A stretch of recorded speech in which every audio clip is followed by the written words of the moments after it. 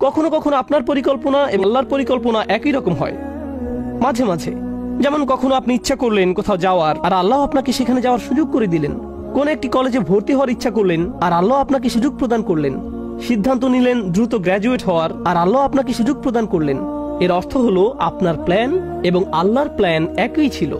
সেই একটি বিষয়ের জন্য। কিন্তু মাঝে মাঝে আপনার এবং আল্লাহর পরিকল্পনা একই রকম থাকে না। অনেক সময় ভাবছিলেন, দশ বছর ধরে চাকরিটা করবেন। ছয় মাস পরে আপনাকে ছাঁটাই করে দেওয়া হলো। কোন একটা ভার্সিটিতে ভর্তি হওয়ার আবেদন করলেন। আপনার সবকিছুই ছিল সেরা, কিন্তু তবুও চান্স পেলেন না। অন্যদিকে, আপনার চেয়ে অনেক কম যোগ্যতা সম্পন্ন বহু ছেলে মেয়ে চান্স পেয়ে গেল। অনেক সময় আপনার এবং আল্লাহর পরিকল্পনা একই রকম থাকে না। এই আয়াতগুলো শিক্ষা দিচ্ছে, সব সময় সবকিছু আমার পরিকল্পনা অনুযায়ী কাজ করবে না। তবুও আমাকে পরিকল্পনা করে যেতে হবে। তবুও আমাকে চেষ্টা করে যেতে হবে। কিন্তু দিন শেষে আল্লাহ সিদ্ধান্ত নিবেন, পরিকল্পনাটি বাস্তবায়িত হবে কি হবে না। অজকুর রব্বাকা ইদা নাসিব এরপর আসছে এই আয়াতের সবচেয়ে শক্তিশালী অংশ। আমি এর উপর অতিরিক্ত কিছু সময় ব্যয় করতে চাই। এটা আসলেই সমগ্র কোরআনের অন্যতম সুন্দর একটি শিক্ষা। যদি একজন মুসলিম এটা বুঝতে পারে, তার জীবনটা সহজ হয়ে যাবে। ওয়াকুল আসা আইয়াহদিয়ানি রব্বি লি আকরাবা মিন হাযা রাশাদা। এই শব্দগুলো হলো একটি দোয়া। দুয়ার চেয়েও এটা আশায় পরিপূর্ণ একটি বিবৃতি। চলুন এই দৃষ্টিকোণ থেকে এর সাথে পরিচিত হই। আপনি ভবিষ্যৎ নিয়ে চিন্তা করছেন? শুধু আশা শব্দটি ব্যবহৃত হওয়ার দরুন। তারাজ্জি। আরবিতে যাকে বলা হয় হরফুত তারাজ্জি বা ফেয়ালুত তারাজ্জি এমন ক্রিয়াপদ যা আশা প্রকাশে ব্যবহার করা হয়। আল্লাহ আমাদের এই আয়াতে শেখাচ্ছেন, মুসলিমকে অবশ্যই ভবিষ্যতের ব্যাপারে আশাবাদী হতে হবে। কোরআনের প্রতি আমাদের ইমান ভবিষ্যতের ব্যাপারে আমাদেরকে আশাবাদী করে তোলে। আমি পরোয়া করি না খবরে কি আসে। আমি পরোয়া করি না, গতকাল কি ঘটেছে? এর আগের দিন বা এর আগের দিন কি ঘটেছে? আমি মুসলমানদের এমন গ্রুপের অন্তর্ভুক্ত হব না, যারা বসে বসে বলে, উম্মার পরিস্থিতি দিন দিন শুধু খারাপ থেকে আরও খারাপ হচ্ছে। ও আল্লাহ, আর সামনের পরিস্থিতি শুধু আরও খারাপ হবে। সামনে আরেকটা ট্র্যাজেডি আসছে, আমি গ্যারান্টি দিচ্ছি, দেখো কি ঘটে। তুমি মনে করেছ নাইন ইলেভেন খারাপ ছিল? কিছুই না। ওটা আসলে কিছুই না। ও মাই গড দেখো এখন উম্মার কি অবস্থা হয়, এবং দেখো তারপর কি হয়। এই মনোভাব সরাসরি কোরআনের আয়াতটির বিরোধী। শুধু আশা শব্দটির কারণে আপনার তো এই আশায় বুক বাঁধার কথা যে আল্লাহ পরিস্থিতি উন্নত করে দিবেন। আপনার নিজের জন্য, চারপাশের মানুষের জন্য, মানবতার জন্য আপনার তো এই দৃষ্টিভঙ্গি থাকার কথা। তারপর তিনি বলেন, আর নিজের ভবিষ্যতের ব্যাপারে কি বলবেন? আশা আইয়াহ দিয়ানি রব্বি। সম্ভবত আমার রব আমাকে পথ দেখাবেন। নিজের ভবিষ্যতের জন্য সবচেয়ে আশাবাদী কোন জিনিসটি আপনি পেতে পারেন? সবাই ভালো চাকরি চায়, ভালো অর্থনৈতিক অবস্থা চায় ভালো পারিবারিক অবস্থা চায়, সুস্বাস্থ্য চায়। আমরা এগুলো সব চাই, কিন্তু জানেন, সবচেয়ে মৌলিক যে জিনিসটি আমার আপনার প্রয়োজন, যা অক্সিজেনের চেয়েও বেশি মূল্যবান, তা হলো আল্লাহর হেদায়েত। একবার এটা পেয়ে গেলে সবকিছু ঠিক হয়ে যাবে, কিন্তু হেদায়েত না পেলে আপনার আসলে কিছুই নেই। এই আয়াত আশাবাদী করে তোলে যে আল্লাহ আমাকে পথ দেখাবেন। আসা আইয়াহ দিয়ানি রব্বি, আমার প্রভু আমাকে পথ নির্দেশনা দান করবেন। তিনি আমাকে ভুলে যাবেন না। ভবিষ্যতের জন্য ওয়াদা দেওয়ার সময় আমি তার স্মরণ করব। তাহলে তিনিও ভবিষ্যতে আমাকে স্মরণ করবেন।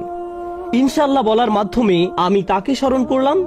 যখন ভবিষ্যতের কথা আসে, তিনিও আমাকে স্মরণ করবেন। ফাজ কুরু নি আজ কুরকুম সুতরাং তোমরা আমাকে স্মরণ করো, আমিও তোমাদের স্মরণ করব। এখন আল্লাহ আপনাকে হৃদায়তের গ্যারান্টি দিচ্ছেন। আবার বলছি, এখানে মুসলমানদের বোঝার জন্য খুবই গুরুত্বপূর্ণ একটি ব্যাপার রয়েছে। সারা পৃথিবী জুড়ে বহু মানুষের মাঝে। অল্লাহিল আজিম এই গ্রহের যেই প্রান্তে যান না কেন মানুষের একই ধরনের বিভ্রান্তি, একই প্রশ্ন বারবার। আর সবচেয়ে কমন যেই প্রশ্নটি আমি শুনি, মানুষ বলে, ইসলামের এত বেশি দলমত রয়েছে, কোরআনের ব্যাখ্যায় এত বেশি ভিডিও পাওয়া যায় বা হাদিসের ব্যাখ্যায় কেউ এটা বিশ্বাস করে, কেউ ওটা বিশ্বাস করে। এই হুজুর অমুক ফতোয়া দেয়, ওই হুজুর তমুক ফতোয়া দেয়। আমি কি এই হুজুরকে মানবো, নাকি ওই হুজুরকে মানবো? কেউ বলে এটা হালাল, কেউ বলে এটা হারাম, কিছুই জানি না। সবকিছুই বিভ্রান্তিকর। এত বেশি দল আমি কীভাবে হেদায়েত পাবো? কীভাবে আমি জানব যে আমি সঠিক বিষয়টা অনুসরণ করছি? কীভাবে জানব? আমার পক্ষে তো এত এত বেশি তথ্য প্রসেস করা সম্ভব নয়। আর আমি এর সাথে একমত, আমরা এখন মাত্রাতিরিক্ত তথ্যের যুগে বাস করছি। প্রতিনিয়ত এত বেশি মত আর পথের সাথে পরিচিত হচ্ছি, এমনকি ইসলামের ভেতরেও। এই হলের ভেতরে বসা শ্রোতাদের দিকে লক্ষ্য করুন। যদিও আমরা একই এলাকার, আপনি যেভাবে ইসলাম শিখেছেন, তা আপনার পাশের জন থেকে খুবই আলাদা। যেসব শিক্ষক আপনি পেয়েছেন, যেসব মানুষের সঙ্গ লাভ করেছেন, যে স্কুলগুলোতে শিখেছেন তা আপনার পাশের জনের থেকে একেবারেই ভিন্ন। তাই কোনো ব্যক্তি সহজে বিভ্রান্ত হয়ে পড়তে পারে যে কীভাবে আমি বুঝব যে আমি সঠিক ইসলাম অনুসরণ করছি? আর এই আয়াত হলো তার জবাব। আমি কারও হেদায়েতের নিশ্চয়তা দিতে পারি না, ইউটিউব কারও হেদায়েতের নিশ্চয়তা দিতে পারে না, গুগল কারও হেদায়েতের গ্যারান্টি দিতে পারে না, এবং কোনো মানুষও হেদায়তের নিশ্চয়তা দেয় না। এটা আমাদের আশা যে স্বয়ং আল্লাহ আমাকে ব্যক্তিগতভাবে হিদায়ত দিবেন। হেদায়েত অন্য কোথাও থেকে আসতে পারে না। আপনার কাছে কোনো তথ্য না থাকতে পারে, অথবা আপনি তথ্যের সাগরে ডুবে থাকতে পারেন, এটা কোনো ব্যাপার না। আল্লাহ আপনাকে কতটা হেদায়েত দিবেন তা নির্ভর করে আপনি কতটা হেদায়েত চান তার উপর। অন্য কারও কাছে নয়। আর একবার আল্লাহর কাছে সঠিক রাস্তা চাওয়ার পর আপনাকে আর বিচলিত থাকতে হবে না। নিশ্চিত থাকুন যে আল্লাহ আপনাকে সঠিক পথ দেখাবেন। তিনি কাউকে ফিরিয়ে দেন না। আল্লাহর কাছ থেকে হেদায়েত পাওয়া কঠিন নয়। এটা কঠিন নয়। আল্লাহ হেদায়েতের পথ খোলা রেখেছেন, যারা চায় তাদের জন্য। আমাদেরকে শুধু সেসব মানুষের অন্তর্ভুক্ত হতে হবে শুধু এইটুকুই। এই আয়াতটি সুরাতুল কাহাফের অন্তর্গত। এর প্রমাণ হিসাবে সুরা কাহাফ নিয়ে কথা বলে শেষ করতে পারব না এই খুদ্বায় এই গুহার অধিবাসীরা, যাদের কথা আমরা প্রতি শুক্রবার পড়ে থাকি, এই মানুষগুলোর আশেপাশে কোনো নবী ছিল না, কোনো আলেম ছিল না, কোনো শায়েখ ছিল না।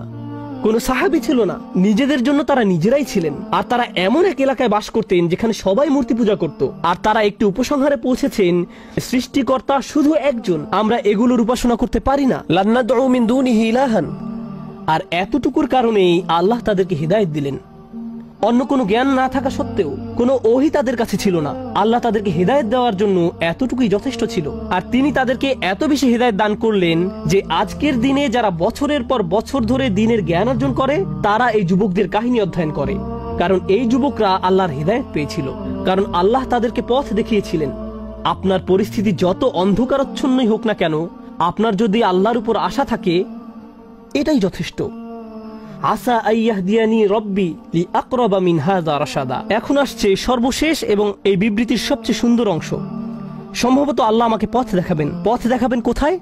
কোন দিকে পথ প্রদর্শন করবেন? লি আকরবা মিন হাযা রাশাদা।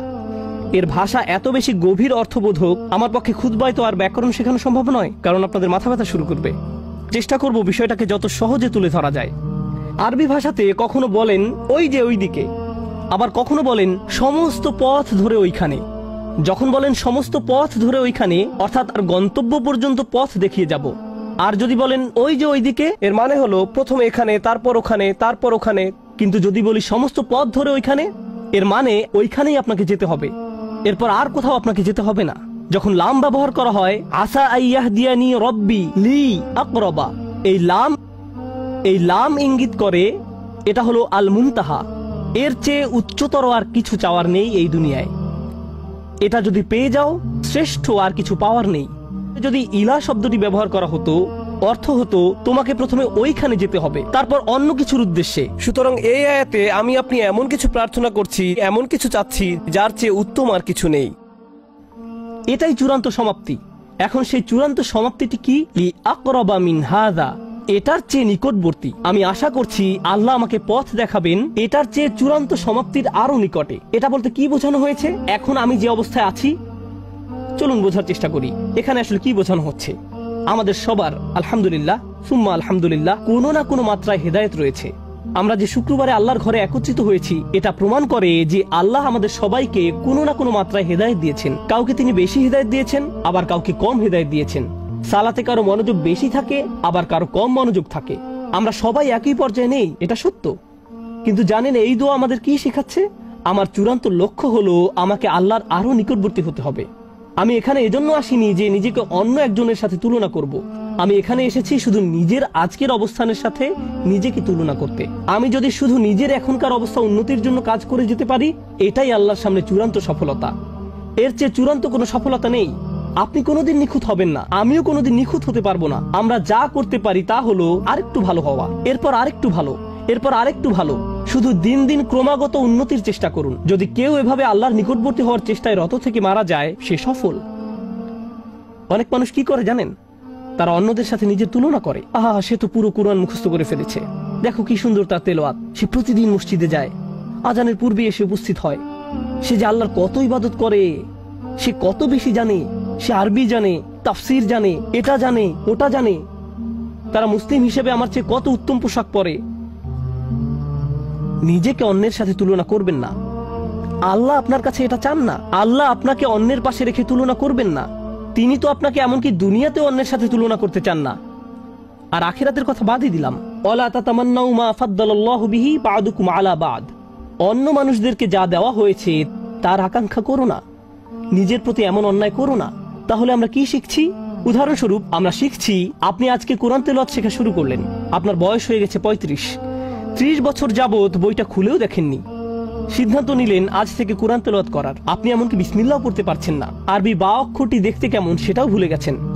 আপনার বয়সের মানুষেরা বড়দের মতো করে পড়তে পারে। এখন আপনাকে বাচ্চাদের মতো শিখতে হচ্ছে। এতে কোনো সমস্যা নেই। আপনি যখন আলিফ পড়া শিখছেন, বা পড়া শিখছেন, এবং আল্লাহর দিকে কিছুটা অগ্রসর হয়েছেন, এখন এই অবস্থায় যদি আপনার মৃত্যু হয়, আপনি হয়তো একজন হাফেজে কোরআনের চেয়ে উত্তম, যে সম্পূর্ণ কোরআন মুখস্থ করেছে।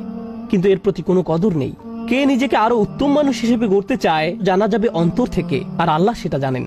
তাই আল্লাহর দিকে অগ্রসর হওয়ার ক্ষেত্রে এখন যে অবস্থায় আছেন তাকে ছোট করে দেখবেন না। মানুষ আপনাকে ছোট করে দেখতে পারে, কিন্তু আল্লাহ আপনার চেষ্টাকে ছোট করে দেখেন না। মনে হয় যেন আল্লাহর কাছ থেকে হৃদায়ত পাওয়া অনেক কঠিন, আর আল্লাহ হৃদায়তের দরজাকে বিস্তীর্ণ রূপে খোলা রেখেছেন। তিনি শুধু আমাদেরকে বলেছেন, এই দোয়া করার জন্য ইয়া আল্লাহ, আমাকে পথ দেখান। মিন হাদা রসাদান রসাদান মানে সত্য পথের হৃদায়ত। এ আয়াতের শেষ শব্দ রসাদান ইঙ্গিত করছে, আপনি যে এই দোয়াটি করছেন, তা প্রমাণ করে আপনি ইতোমধ্যে কিছুটা হেদায়েত পেয়ে গেছেন। আপনার বলা উচিত নয় আমি পথ ভ্রষ্ট। এই আয়াত স্বীকার করে নিচ্ছে, আল্লাহ যে আপনাকে দোয়া করার সামর্থ্য দিয়েছেন, এই সামর্থ্য নিজেই আল্লাহর পক্ষ থেকে আপনার জন্য একটা হেদায়েত। আল্লাহ আপনাকে আরও দিবেন, তিনি আরও দিবেন, এবং তিনি আরও দিবেন। মুসলমানরা এমনই আশাবাদী এক জাতি, যখন পৃথিবীতে হেদায়েত নেমে আসে, তখন এর সাথে প্রশান্তি আসে, ইতমিনান আসে, হৃদয় প্রশান্তিতে পূর্ণ হয়ে যায়। আলা বিদিক্রিল্লাহ হিতাত্মা ইন্নুল কুলুব, এই কথা বলেই আলোচনার সমাপ্তি জানতে চাই। অন্তর যখন প্রশান্ত হয়ে যায় তখন এই প্রশান্তি আশেপাশেও ছড়িয়ে পড়ে। প্রশান্তি সংক্রামক, ইমান সংক্রামক। পরিবারের ভেতর শান্তি ছড়িয়ে পড়ে বন্ধু বান্ধবদের মাঝে শান্তি ছড়িয়ে পড়ে, সমাজে শান্তি ছড়িয়ে পড়ে যখন হৃদায়ত আসে পৃথিবীর সমস্যা যদি হয় সংঘর্ষ ও ঘৃণা, পৃথিবীর সমস্যা যদি হয় যুদ্ধ, তখন এর সমাধান রাজনৈতিক পলিসিতে নয় আরও যুদ্ধাস্ত্র হয়। এটা সমাধান নয়, অর্থনৈতিক নিষেধাজ্ঞাও নয়। মানবতার আজকে যা দরকার তা হলো হেদায়েত, কারণ হেদায়েত ছাড়া কোনো শান্তি নেই। পাওয়া সম্ভব না। ফাআইয়ুল ফারিকাইনি আহাক্কু বিল আমন, ইন কুনতুম তা'লামুন আল্লাযীনা আমানু। কে শান্তি লাভের বেশি হকদার? যারা বিশ্বাস স্থাপন করে, যারা ইমান এনেছে ঠিক এটাই আমরা আল্লাহ আজ্জাল্লাহর কাছে প্রার্থনা করছি। যখন আপনি এবং আমি এই দুনিয়াতে শান্তির জন্য দোয়া করি, মুসলিম দেশগুলোতে শান্তির জন্য দোয়া করি, তখন আসলে আমরা সরাসরি আল্লাহর কাছে দোয়া করছি আমাদের নিজেদের জন্য এবং আমাদের চারপাশের দুনিয়ার জন্য আরও বেশি হেদায়েত। আল্লাহ আজ্জাল্লাহ আমাদের সবার হেদায়েত বাড়িয়ে দিন এবং আমাদেরকে সেসব মানুষের অন্তর্ভুক্ত করুন যারা তাদের ভবিষ্যতের ব্যাপারে আশাবাদী, সন্তানদের ভবিষ্যতের ব্যাপারে, উম্মার ভবিষ্যতের ব্যাপারে এবং সমগ্র বিশ্বের ব্যাপারে আমাদেরকেই চিন্তা করতে হবে। শুধু আমাদের উম্মার জন্য নয়, গোটা দুনিয়ার জন্য। আমরা ইব্রাহিম আলাইসাল্লামের মিল্লাত। ইব্রাহিম আলাইসাল্লাম সমগ্র মানবতার জন্য উদ্বিগ্ন থাকতেন। আমরা এমন একটি উত্তরাধিকার পেয়েছি। আল্লাহ আজ্লাহ আমাদেরকে তেমন মানুষে পরিণত করুন। আমাদের ভবিষ্যৎ প্রজন্মকে এমন করে গড়ে তুলুন, যারা কোরআন, সুন্নার আলোকে জীবনযাপনের জলজান্ত উদাহরণ হবে। বারাকাল্লাহ আলাইকুম আসসালামু আলাইকুম রহমতুল্লাহ